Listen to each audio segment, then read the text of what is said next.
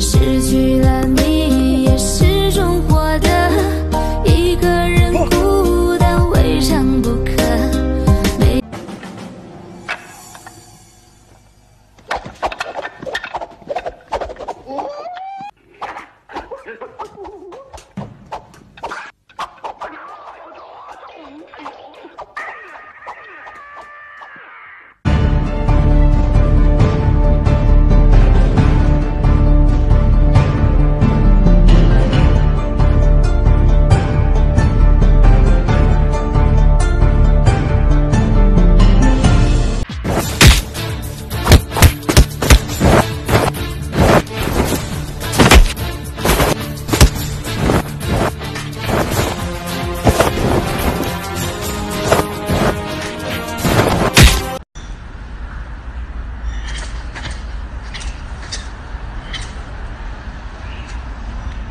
呃，练习中国传统武术套路的目的，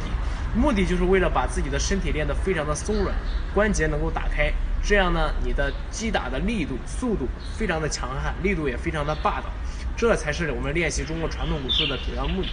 套路的目的。当然啊，如果你这个套路练得非常柔美、非常优美，这个就是没有一定的力度感，这就是属于花拳绣腿。所以说，中国功夫一定要具有一定的力度感。